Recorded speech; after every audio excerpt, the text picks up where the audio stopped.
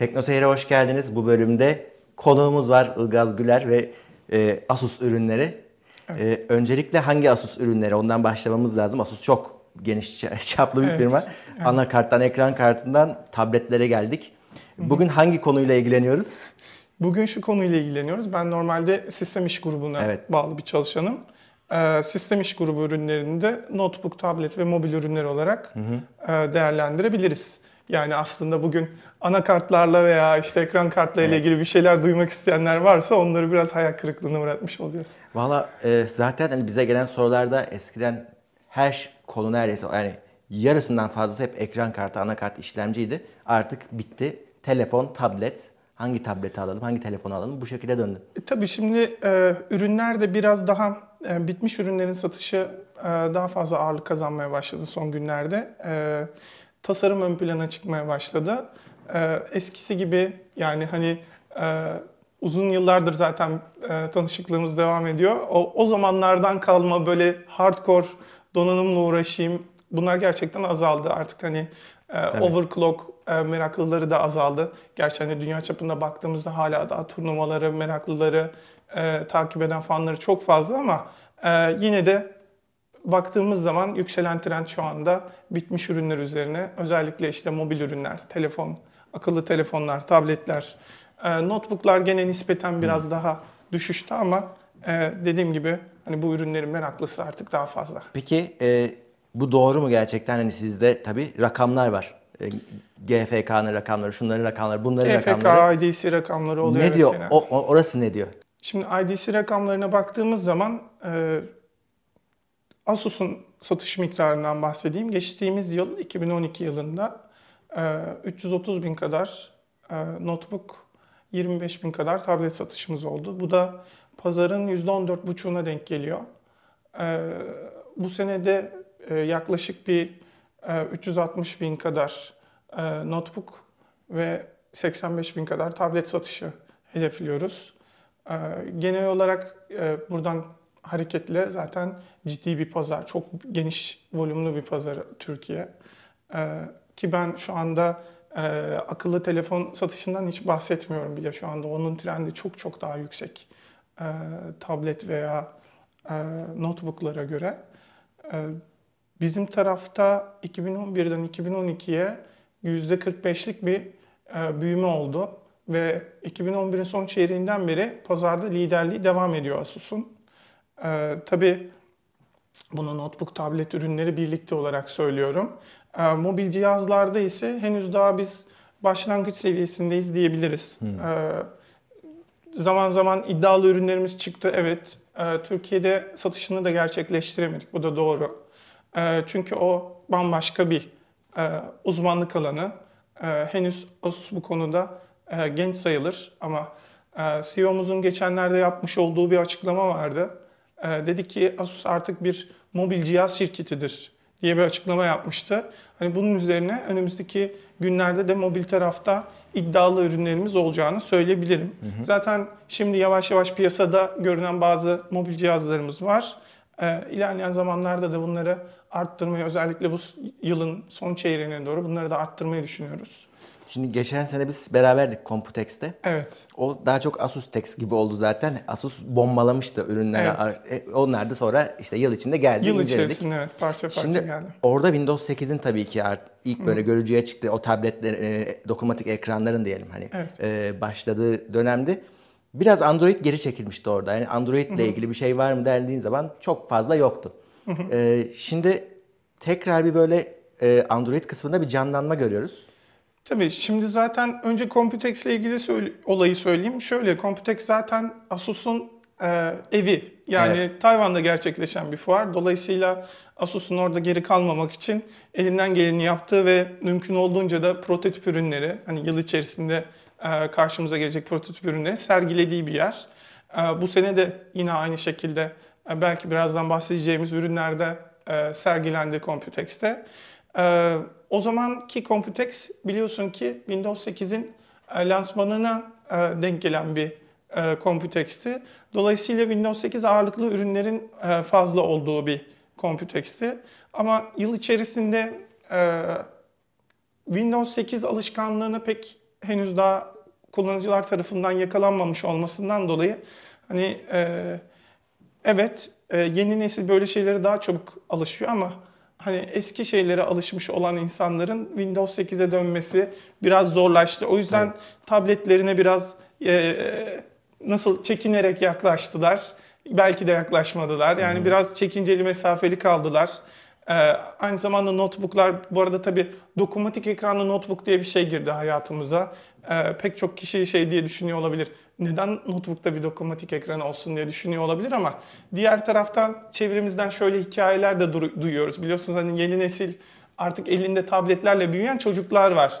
Ve hani bunların artık evde gidip televizyon ekranında e, kanalı böyle parmağıyla falan değiştirebileceği şekilde hareket ettiklerini görüyoruz yani. Hı hı. Hani böyle şeyler yaşanıyor. Tabii ki şu ana kadar bu dokunmatik ekranı kullanmamış olanlar e, pek alışa, alışamayabilirler ama hani dokunmatik ekranla büyüyenler, tabletle büyüyenler notebook'ta da, televizyonda da her şeyde o dokunmatik ya, ekran isteyecekler. Yenileri bir kenara bırakalım. Ben bazen şu slideshow'u şöyle yapmak istiyorum yani şuradan ekrana dokunup. İnsanın içinden geliyor. Yani hani şimdi ofisimizde de dokunmatik ekranla kullandığımız e, bilgisayarlar var. Şimdi öyle bir şey kullandıktan sonra ben dokunmatik ekranlı bilgisayar kullanmıyorum. Ben touchpad'den daha iyi yönetiyorum. Çünkü sonuçta Windows 8'de bazı hareketler yapmanız gerekiyor. Asus'un zaten touchpad'leri bunu destekliyor. Ben de rahat ama dokunmatik bir ekrandan tekrar kendi bilgisayarıma geçtiğimde arada parmaklıyorum ekranı yani. hani böyle e, eli gidiyor insanın ister istemez. Evet, orada da e, 8.1 ile bir hareketlenme olacak gibi gözüküyor. Çünkü Microsoft da gördü tepkileri. Evet şu an çok güzel bir iş yapıyorlar 8.1 ile. Evet o çılgınca insanların o başlangıç e, tuşunu istemesi, o başlat tuşunu istemesinden dolayı artık evet. böyle pes etmiş e, durumda. Tabii canım yani e, bizim Levent abiye Windows 8 dedin mi zaten cinayet moduna giriyor. Yani çok kullanıcı var. E, ama işte Levent abi gibi e, Android seven kullanıcılar ve Asus kullanıcıları o da biliyorsun Transformer kullanıyor. Evet. E, biraz hayal kırıklığına uğradılar. Çünkü hani biz bir Transformer çıkardı hemen o çıkardı yenisinin dedikodusu gelirdi falan böyle bir tempoyla gidiliyordu. Hı hı. Bir anda o yavaşladı. Windows 8 o rüzgarı bir çaldı. Ee, şimdi ama gördüğümüz kadarıyla birazdan konuşacağız. Android'e terk etmediğini göreceğiz Asus'un. Tabii e, asla terk etmiyoruz tabii ki öyle bir şey yok. Çünkü Android'de potansiyeli olan bir işletim sistemi. E, öyle hani kolay kolay kenara bırakılıp arkası arkamızı döneceğimiz bir Hı-hı. işletim sistemi değil. E, zaten e, birazdan bahsedeceğiz yeni ürünlerden ağırlıklı olarak Android işletim sistemli tabletlerden bahsediyor olacağız. Hatta hibrit ürünümüz bile var. Hı hı. Ee, Transformer Book Trio ondan bahsediyor olacağız. Hem içerisinde Windows 8 barındırıyor hı hı. hem de Android. Konuya o zaman e, bilgisayar kısmından girelim. Bir de şeyi merak ediyorum ben çünkü Haswell biliyorsun orada e, geldi. E, bizim test sonuçlarımız şimdi elimize çok fazla Haswell ulaşmadı ama Doğrudur. en azından pil ömrünün arttığını gördük. Doğrudur. Şimdi e, Haswell platformuna sahip ürünler e, bizde Ağustos ayı içerisinde parça parça gelmeye başlayacaklar. Hı hı. E, ürünlerin tasarım açısından böyle inanılmaz makyajlanmış bir farkı hı. yok. Ama e, tabii platformun getirdiği bazı avantajlar var. Nedir? İşte ürünler biraz daha incelebiliyor. Biraz daha hafifleye, hafifleyebiliyor. Pil ömrü dediğin gibi biraz daha artabiliyor ama burada gene e, ürünün konfigürasyonu da bunu fark ettiriyor. Hı. Yani işlemcisini i3 mü kullandın, i7 mi kullandın ya da atıyorum SSD mi kullandın, evet. hibrit disk mi kullandın. E, konfigürasyon bunu aşırı derecede fark ettirir. Ya da işte e, harici bir grafik işlemcisi vardır. Bu da fark ettirir. Dolayısıyla hani şimdiden şu kadarken şu kadar demek hı hı. E, enteresan bir yaklaşım olur. E, öyle bir iddiamız yok ama hani yeni platformla beraber illaki bir takım e, yenilikler, iyilikler gelecek. Evet ama yani bugün e, şöyle hani Hassel'le birlikte radikal bir değişiklik beklemiyoruz değil mi Asus ürünler? Çünkü Asus bir çizgi tutturdu. Hı hı. Yani en ekonomik ürüne bakıyorsun. Ben burada hatta kendime aldığım ürünü incelemiştim. Orada bile bir metal kasa, şık bir tasarım, ses. Yani bu çizgi tuttu devam ediyor. Bu çizgi zaten bu şekilde devam etmek zorunda. Çünkü e, Asus ürünlerinde mümkün olduğunca hani kaliteyi ön planda tutuyoruz. Eskiden biliyorsunuz e, Asus ürünleri e, entegre tarafında çok kalite kaliteli olduğu bilinirdi. Bir anakart üreticisi olarak zaten evet. e, farklı bir şey beklenemezdi. Ama işte son yıllarda fark ettiyseniz tasarımda da e, özellikle büyük farklılıklar yaratmaya başladık. Ve sırf şeyde değil hani şimdi biz laptopları konuşuyoruz. Hani monitör tarafında vesaire de yani tasarımın geçtiği her yerde bir atılım söz konusu. Tabii doğru. Sonuçta e, şöyle bu ürünler sadece e, artık bizim bize elektronik çözümler üreten ürünler değil. Bu ürünler artık bizim hayatımızın parçası. Yani hani insanlar cüzdanını evde unuttuğu zaman gidip cüzdanını almayabiliyor ama telefonu evde unuttuğu zaman gidip telefonu alıyorlar. Yani hani bu tablet artık senin stilinin bir parçası oluyor ya da işte e, bir yere gidip o notebook'u açtığın zaman insanların sana bakmasını istiyorsun. Yani hal böyle olunca ister istemez tasarım ciddi e, derecede ön plana çıkıyor. Biz de Asus olarak e, özellikle son 2-3 yıldır ürünlerimizin tasarımına daha fazla özen göstermeye başladık. Ürünlere geçmeden önce son sorum. Şimdi tablet ürünleri ve bir yandan da notebooklar devam ediyor. Tabii. Birbirlerini öldürüyorlar mı yoksa birini alan diğerini de mi alıyor? Nasıl eğilim? Şimdi ah, çok enteresan bir soru sordun. O dünyanın farklı ülkelerinde farklı şekilde gelişiyor. Bizdekinin analizini tam olarak algılayabilmek mümkün değil ama tablet tarafındaki satışlar ciddi şekilde patlamış durumda. Yani tablet satışı İyi anlamda oldukça- patlamış. Ha, Evet, iyi anlamda patlamış durumda.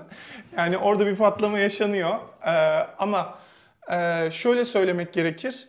Ee, hala da hani ben sadece bir tablet alırım, e, gerisine de karışmam şeklinde bir yaklaşım yok anladığım kadarıyla. Herkesin evinde en azından bir ikincil, daha doğrusu birincil olarak kullanmış olduğu bir desktop ya da e, notebook mutlaka var.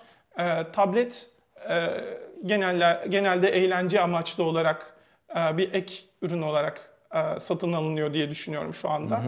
E, ama tabii ki tabletlerin de farklı formları var. İşte bizde de bu olduğu gibi Transformer pad versiyonu var. Aynı zamanda dock ve klavye ünitesine sahip. Böyle bir tablet aldığınız zaman bir de yanında notebook alayım gibi ya da işte bir de PC mi olsun gibi tabii ki bu da yapacağınız işe bağlı olarak gerekmeyebilir. Gerekmeyebilir. Peki e, yeni ürünlere geçelim o zaman. Yavaş yavaş geçelim yeni ürünlere. Ee, masanın üzerine bazı ürünlerimizi dizdik. Evet, şurası renklenmiş. Evet, orası renklendi çünkü e, önümüzdeki dönemde e, Mimoped serisi biliyorsunuz şu anda M172 modeliyle satışta olan bir model e, ürün. E, önümüzdeki dönemde Ağustos ayı başı itibariyle e, M173 modeli geliyor olacak. 7 inç trend gözüküyor. 7 inç, e, evet 7 inç trend gözüküyor. Şu anda e, insanların nasıl söyleyeyim daha kullanılabilir bulduğu e, boyut 7 inç olarak gözüküyor şu anda. Ve e, burada tabii şöyle de bir trend, başka bir trend daha bir yandan devam ediyor. Ekonomik 7 inç. Yani Evet. gidip de buna 1000 lira vermiyorsun. Evet bu ekonomik 7 inç furyası zaten geçtiğimiz sene Nexus 7'nin lansmanı ile başladı. Her ne kadar Türkiye'de aynı ekonomik standartlarda sunamamış olsak da O konuda çok soru gelecek. Baştan söyleyeyim çünkü şu günler aynı zamanda yenisinin lansmanı yapıldı ya. Evet. Onunla ilgili şöyle kısa bir açıklama yapayım. Ee, sonuçta her ne kadar tamam üretici olarak Asus görünse de e, ürünün sahibi Google. Tabii ki. Ee, ve orada inisiyatif Google'da biraz daha. Ee, aynı zamanda fiyata etki de Google tarafından. Dolayısıyla e, lansmanın yapıldığı bir 9 tane ülke belirlenmişti geçtiğimiz yıl. Ee, ve bu ülkelerde ilk çıktı. Ee, oradaki de standartları bildiğim kadarıyla ana dili İngilizce diye bir e, standartları vardı. Sadece çıkmakla kalmıyor bir de finansal açıdan da Google'ın müthiş bir Evet, desteği var. evet. Yani hani ciddi bir rakamdan bahsetmişlerdi o zaman 199 dolar gibi. Evet. Hani e, Türkiye'de diyelim ki hani aynı desteği alsanız bile vergileriyle falan bu zaten e, asla gene aynı boyutlara gelecek bir Ama e, rakam Şunu olmayacak. söyleyelim hani Asus'ta da sonuçta 7 inç ürün var diye e, oraya bir taş konulmuyor. O da gelecek en sonunda satılacak. Tabii tabii yani şu anda yeni çık- yeni çıkacak olan Nexus daha doğrusu lansmanı yapılmış olan Nexus 7'de e, yine Türkiye'de satılacak. Ama aynı fiyatları beklemeyin diyorsunuz daha Ha, şimdiden. Yani yine e, benzer fiyatlara yakın olmaya çalışırız ama e, tabii ki aynı fiyatlarda olacağını düşünmüyorum. Aynı zamanda e, yine gecikme olacaktır. Tabii. Yine çünkü lansmanı e, bu Öncelikli ülkelerden değiliz. Öncelikle evet bu biz, bize bağlı olan bir şey değil. E, dolayısıyla bu, bu konuda yapabileceğimiz çok fazla bir şey yok. Ama e, Asus'un kendi 7 inçleri ne zaman geliyor, ne zaman piyasada? Bu bunlar Ağustos ayı itibariyle piyasadalar. Evet. Ee, bunların HD ekranı var. Quad core işlemcisi var. 1.2 GHz. Şu anda satılandan e, o, o bitiyor değil mi? O sonlanıyor. Ee, evet yani şu anda raflarda bulunan model sonlanıyor. Ee, ve bununla birlikte yeni model yani Yeni Ağustos model. ayı başı itibariyle yeni model Onun üstüne satışta ne olacak. getirdiğini sayalım. Onun üstüne ne getirdiğini e, gördüğünüz üzere işte HD ekranı var, quad core işlemcisi var. E, ilk satışa çıkacak modeller 32 GB diye yanılmıyorsam. E, fiyat fiyatı çok uygun olacak. Gene hani bu özelliklere sahip bir ürün için 499 dolar seviyesi. için mi? Özür dilerim 499 TL e, fiyat seviyesinde satışa. 32 için mi? Evet. Var. E, Çünkü biz e, bu tip fiyatlara bakıyoruz. 8 GB. İşte yani yetmiyor. E, Nexus 7'de de biz bu sorunu yaşadık. Ta- çok sevdiğimiz bir ürün. Tavsiye de ediyorduk. Ama 8 GB modeli uygun fiyatlı satılıyordu ve kart girişi yoktu. Dolayısıyla hani o, o bellekle çakılı kalıyordun. Burada e, kart girişini de hala görüyorum. Kart girişi var. Kart girişi var. 32 GB'da belleği var. O yüzden e, herhangi bir şekilde e, sıkıntı yaşamadan hem MP3'leri hem isterlerse filmleri de içerisinde barındırabilecekler. Çünkü ekonomik segmentte kısılan yerlerden bir tanesi bellek. Hani nasıl olsa üstünde kart girişi var deyip 8 işte 16 gibi giriş modellerinde kalıyorlar ama 32 GB ile geliyor. Yani özellikle 8 GB isteyen e, kullanıcılar da olabilir. E, ama ilk etapta 32 GB ile çıkıyor olacak. İlerleyen dönemde 8 GB'lık versiyonu da piyasada olacaktır. Bir de renklenmiş. Evet renklendi. Farklı renkleri var. Ee, aynı zamanda zaten e, aksesuarları da geliyor olacak. Hani önceden beyaz alıp sonra Aa, neden ben bunun renklisini almadım diye düşünen olursa e, arka kapakları farklı kapakları olacak renkli renkli yine. E, dolayısıyla kullanıcılar ister baştan renkli alabilecekler isterlerse daha sonradan aksesuarlarla. Ekran tipi neydi kullanılan? Ee, ekran tip- tipi IPS. IPS. Evet, IPS ekran ve 170 derece gene görüş açısı mevcut. Ee, ekran parlaklığı yeterli düzeyde. Ee, Bilmiyorum ama hissediyorum ki e, kamera da değişti herhalde. kamera değişti evet. Kamera yoktu. Ha, Ee, kamera yoktu doğru ya. Önceki Evet, evet. versiyonda kamera, yoktu. Bunda 5 Bunda megapiksel kamera geldi. Önde arkada. Önde arkada evet iki tane. Öndekinde 1.2 megapiksel. Ee, o zaten sadece video e, chat yapmanız için kullanılan bir ürün. Ama arka tarafındaki 5 megapiksel ve f2.2 lensi var. İlk modele göre çok ciddi farklar. Evet ciddi farklar. Ee, ayrıca hani hem 7 inç seviyesinde hem bu fiyat kategorisinde gerçekten hani alabileceğiniz en iyi konfigürasyon e, sunmaya çalıştık. Çünkü açık söyleyelim biz hani gördüğümüz zaman Asus biraz fazla kırpmış demiştik ilk modeli. Ama şimdi çok hani hem fiyat hem performans anlamında or- iyi bir yere konumlanıyor. Yani orada zaten e, her seferinde her ürünle e, hedeflenen fiyat ve ürün segmenti kategorileri farklı. E, burada bir üst segmente Bir üste, geçmiş evet. oldu. Ama fiyatı da bir üst segment gibi değil de biraz daha bir alt segmente Evet. yakınmış gibi Çünkü ayarlandı. açık söyleyelim yine orası anormal kalabalık. Bir sürü Evet. tablet var. Oradan sıyrılmak için kaliteyi arttırmak gerekiyor. Bu olmuş gibi gö- gözüküyor. Ben de ilk defa görüyorum burada. Ee, daha çok inceleyemedim sadece ama ilk izlenimlerimiz diyelim gayet olumlu. Tabii daha sonra incelemesini Evet. yapabileceksiniz mutlaka. Başka? Başka hemen devamında e, Full HD olan aynı MimoPad serisinin yeni bir ürünü var. E, bu 10 inç e, ve Full HD ekranı var. E, ama burada farklı olan bir şey var. Intel işlemcili bu. O Intel işlemci. Yani Intel işlemcili ve Android'li. Aslında Intel işlemcili şu anda satışta olan başka bir ürünümüz daha vardı. E, PhonePad diye. inceledik onu, evet. İncelemesini yapmıştınız. Bu ürün de oldukça hani 7 inç kategorisinde ve aynı zamanda telefon özelliği olan bir ürün. Ve Intel işlemcisi var. E, artık hani yakın zamanda hani hem Intel işlemcisi olan ve Android işletim sistemine sahip olan ürünleri daha fazla görmeye başlayacağız zaten. Tabii.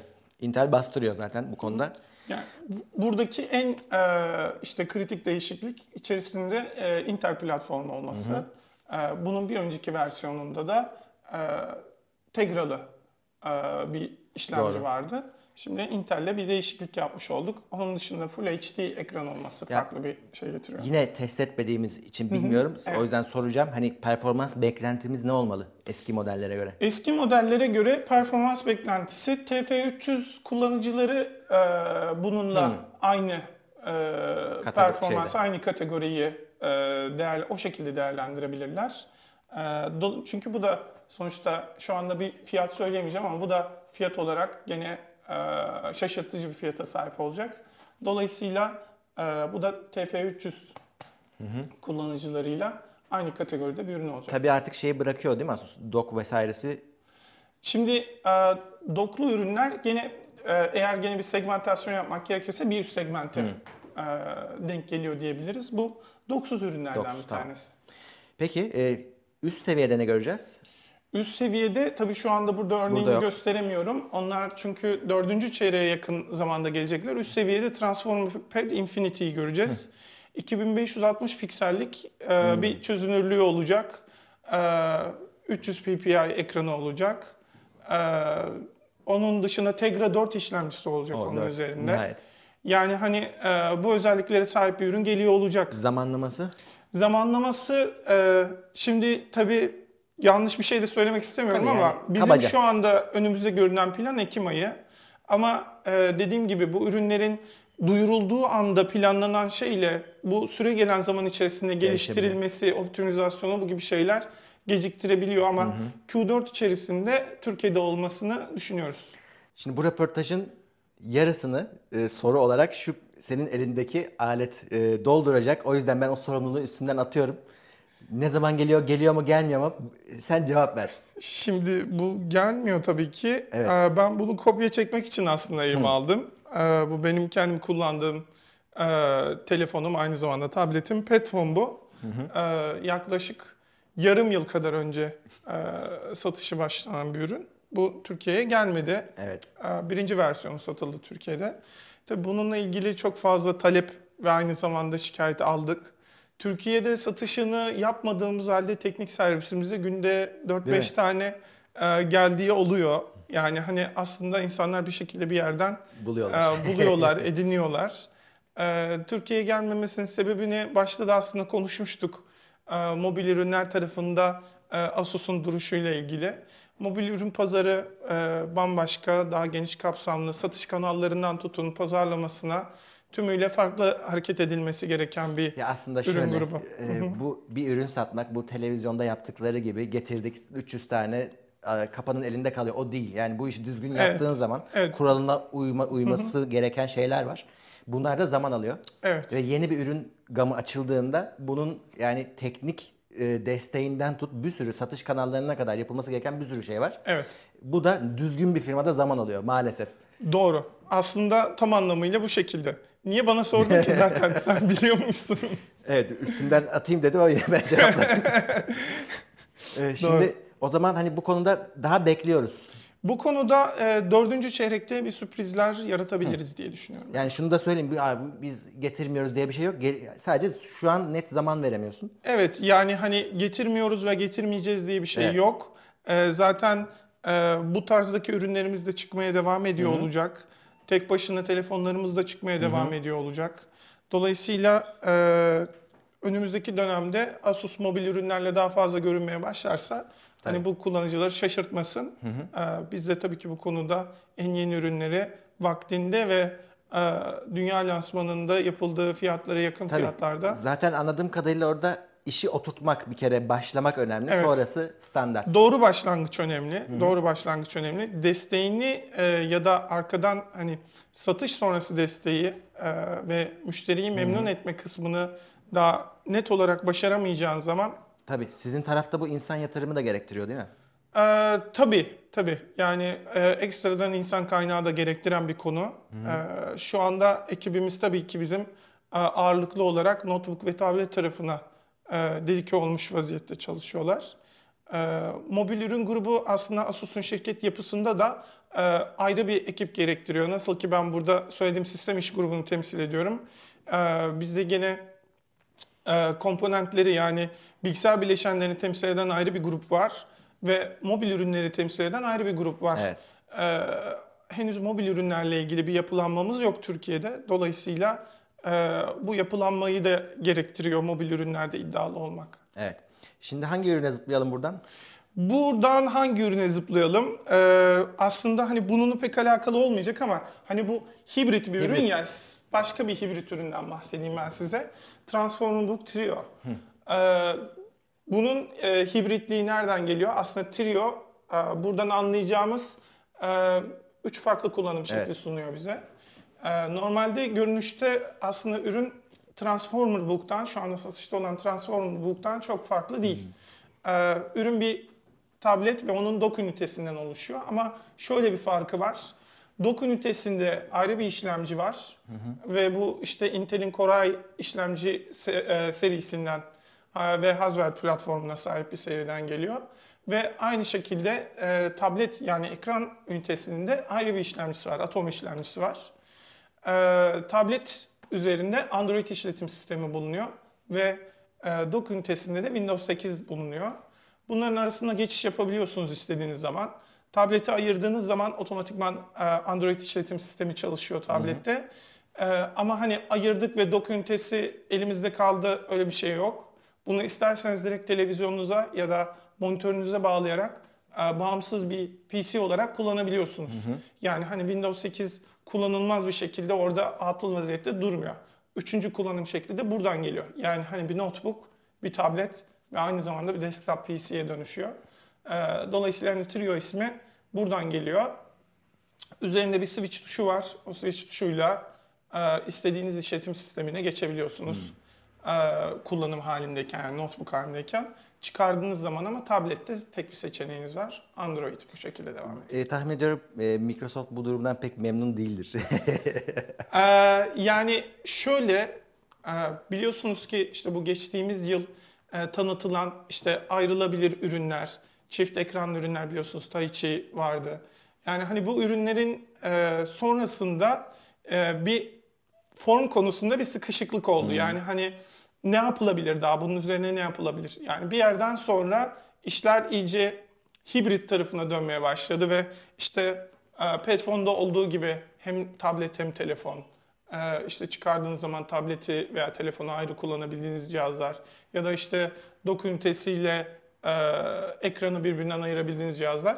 Son olarak da bu gelmiş oldu yani hani e, senaryo olarak da bir evde e, işte diyelim ki işinizin ortasında çocuğunuz işte geldi ben oyun oynayacağım ne olur bilgisayarı ver baba falan dediği zaman tableti eline tutuşturup elinizdeki doku işte TV'ye ya da monitöre bağlayarak siz kendi işinizi, kendi eğlencenizi e, devam ettirirken aynı zamanda bir başkasının da aynı üründen faydalanmasını sağlıyorsunuz. bir de tabii e, tabletin Android olması doğru karar. Yani şu anda Android, ya tablet Android'de. Evet yani hani başta da konuşmuştuk. Şu anda e, özellikle Windows'un arayüzüne daha henüz insanların alışmamış olması. 8.1 ile değişecek ama şu andaki en ideal çözüm bu hibritler gözüküyor. Şöyle Windows 8 tablet şu anda kurumsal tarafta daha fazla ilgi çekiyor. Sonuçta onlar daha bir heyecanla bekliyorlardı. Çünkü biliyorsunuz kurumsal taraflardaki e, yazılım çözümleri ağırlıklı olarak Windows Evet, platformunda Android'i çalışıyor. anlatamaz. Evet, onun için işte iOS ya da Android işletim sistemine ayrıyeten programlama maliyetlerinden e, otomatikman kurtulmuş oldular. Belki hani ufak bir iki rötuşla direkt programlarını Windows 8 platformu üzerinde çalışabilir hale getiriyorlar. Dolayısıyla kurumsal tarafta tercih gene Windows 8 yönünde ama daha son kullanıcı tarafında Windows 8'in kullanıcılarla barışması için birkaç bir şey bir Evet. rötuşa gitmesi gerekiyor. E, onları da zaten 8.1 Olacak. ile getiriyor olacaklar önümüzdeki dönemde. Hibritleri bitirdik mi? E, hibritleri bitirdik. Aslında son bir ürün daha var bahsetmek istediğim. E, o da e, PhonePad Note diye geçen ürünümüz. E, biliyorsunuz işte bu PhonePad'den bahsetmiştik az önce. Şu anda satışta olan Evet. ürünümüz. Bunun bir inç daha ufaldığını düşünün. E, ve yanında bir stylusla geliyor olacak. Ama e, 6 inçlik bir ekranda Full HD bir e, görüntü söz konusu. E, böyle bir ürünümüz geliyor olacak. Yine bu da e, dördüncü çeyreği Bunun olacak. şimdi hani altı mı geliyor, üstü mü geliyor? Klasman olarak baktım sen e, ürün nereye konumlanacak? Yo, gene konumlanacağı pozisyon benzer bir pozisyon olacak. Ee, yani hani e, tabii ki özellik olarak daha fazlasını e, barındırıyor olacak. Dediğim gibi Full HD ekranı olacak. Bunun upgrade'i diye mi düşüneyim ben onu? Gibi düşünebiliriz evet. tamam. Gibi düşünebiliriz. Biraz daha ufalıyor. Şimdi tabii e, bu boyutta bir ürünün telefon özelliği olunca arkadaşlar arasında çok fazla şaka oluyor. Yani hani tabii benim boyutlarımda bir insan için çok garip Evet. durmayabilir ama elinde normal evet. normal e, boyutlardaki insanlar için hani şunu suratına tuttuğu zaman e, yüzü görünmez hale geliyor ve Evet. hani bu gerçekten hani insanlar arasında böyle espri konusu, şaka konusu oluyor. E, ama 6 inç olduğu zaman biraz daha ufalmış olacak ve e, belki de hani o şaka artık sona ermiş olacak. Yo, altı gerçekten daha mantıklı bir çözüm olur. Peki buradan başka neler bekliyor bizi yeni ürün olarak? Ee, Aslında hani ağırlıklı olarak pek çok yeni e, favori üründen bahsetmiştim. Onun dışında makyajında değişiklik olacak olan bir iki ürün var. Ee, Bir tanesi zaten burada e, oyun incelemeleri yaptığınız bir G75 vardı. Evet, hala G750 modeli olarak Ağustos ayı içerisinde e, kullanıcılara sunuyor Ne olacağız. değişecek orada? Çok sorulan bir ürün de o yüzden ona girelim. Platform değişikliği var. Onun dışında e, tabii ki tasarımında ufak değişiklikler, biraz dokunuşlar var. E, dolayısıyla e, inanılmaz bir değişiklik, e, bir şey değiş getirmiyor. E, farklılık getirmiyor. Sonuçta e, oyuncular tarafından kabul edilmiş bir tasarım. E, üzerine çok fazla oynama yaptır, yapmayı gerektirmeyen bir tasarım. E, diğer taraftan tabii ki gene güçlülüğünü koruyacak. 4 çekirdekli işlemcisiyle. e, ondan sonra yüksek kapasitedeki RAM'le, e, gene işte çift hard disk opsiyonlarıyla e, gene performans konusundaki yerini koruyor olacak.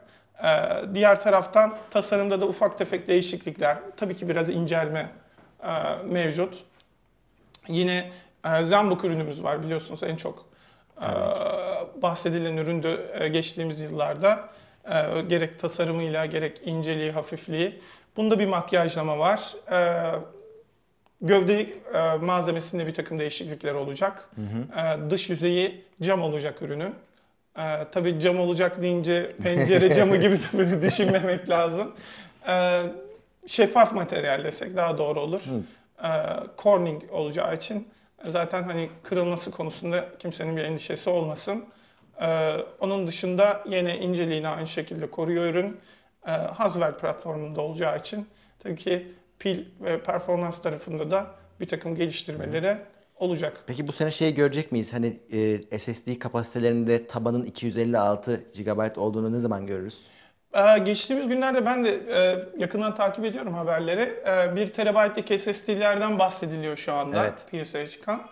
E, bu biraz tabii ki SSD üreticilerinin de e, üretim kapasitelerinin ve aynı zamanda diğer e, ürün tedarikçileri, üretici firmaların da talepleriyle doğru orantılı olarak değişecek. Yani hani bunu tek başına Asus belirleyemez. Çünkü orada her SSD'nin belli bir fiyat kategorisi var. Bu fiyat kategorilerinin oluşmasını sağlayan da o SSD'lerden aslında ne kadar üretilmesi gerektiği ve üretici firmanın bu konuda yıllık planını nasıl yaptığıyla alakalı Yani daha bir şey. göremeyeceksin. Yani hani belki bir süre daha, bir süre daha e, 256 başlangıç olmayabilir. E, ama biz gene ürünlerimizde mümkün olduğunca yüksek kapasiteli SSD kullanmaya çalışıyoruz. E, düşük kapasiteli SSD kullanmaktansa hibrit diski tercih ediyoruz biz. Çünkü onun da bir aslında e, SSD buffer'ı var ve e, belli noktalarda e, ekstra bir performans katkısı oluyor bilgisayara. E, çünkü e, hala daha kullanıcılarda yüksek kapasite beklentisi var disk tarafında. Ee, Ben kendim 256 GB SSD diskli bir bilgisayar kullanıyorum. Ee, Bana fazlasıyla yetiyor. Ee, Ama 128 kullansaydım ben de hani sıkışabilirdim. Dolayısıyla hani e, ama hani 256'dan da fazlasını istemiyorum. Hani kendi deneyimim e, hakkında bahsetmek gerekirse. Ama kullanıcıların ihtiyaçları farklı. E, medya dosyalarını işte arşivleyen insanlar var hard disklerine. Onların daha çok hibrit diskli modelleri tercih etmesi gerekiyor. Ama e, hani SSD'de hemen 500 GB'lık 1 TB'lık modeller şu anda beklemek için çok erken. Hı hı. Ama sonuçta isteyene bunlar da opsiyonel olarak sunulan şeyler. Tabii ama hani işte kısa zaman içerisinde o olacak şeyler değil çünkü e, SSD ile hibrit disk bir ürün konfigürasyonunda ciddi fiyat farkı yaratıyor. Çok ciddi fiyat farkı yaratıyor. Yani hani e, gerçekten onu tercih ederken e, tüm üretici firmalar, daha doğrusu Türkiye'ye ithal edecek olan e, firmalar bunları tercih ederken ister istemez bu endişeye kapılıyorlar. Çünkü e, şu anda biraz fiyat odaklı bir pazarımız var bizim. Biliyorsunuz her hafta sonu kampanyalar var. Yani Evet. hani böyle bir alışkanlık varken e, fiyatın sırf SSD'den dolayı e, çok yük üst bir noktaya gelmesi ürünün bir anda satışının çok yavaşlamasına hatta durmasına neden olabiliyor. Evet, e, ürünlerden böyle şimdi bahsettik tabii. E, bundan sonrası artık iş bize düşecek. Ürünleri inceleyeceğiz. Evet. E, bakacağız herhalde ilk nelerden başlarız? E, bu seriden mi? Bu seriden başlamakta fayda var çünkü çok yakın zamanda e, satışta olacaklar. Tamam. Kullanıcıların da en kısa zamanda bunlar hakkında bilgi alması doğru olacaktır. E, Ağustos ayının başından itibaren raflarda görmeye başlayacağız. Fiyat seviyesi de 499 TL seviyesinde olacak. Tabii ben kampanyalı fiyatından bahsetmiyorum. Biliyorsunuz sürekli kampanyalar oluyor. Bu şey tavsiye edilen satış Bu fiyatı evet, dediğimiz şey. evet tavsiye edilen satış fiyatı kampanyalarda değişkenlik de gösterebilecektir. Bu özellikle bir ürün bu fiyatta gerçekten e, oldukça iddialı olduğunu düşünüyoruz. Evet, e, biz de bakalım görelim öyle mi gerçekten bir test edelim. Peki e, teşekkür ediyorum ben. Ben teşekkür Bayağı ederim. Sağ olun. bilgilendirici oldu. Elimden geldiğince. E, bir sonraki programda görüşmek üzere.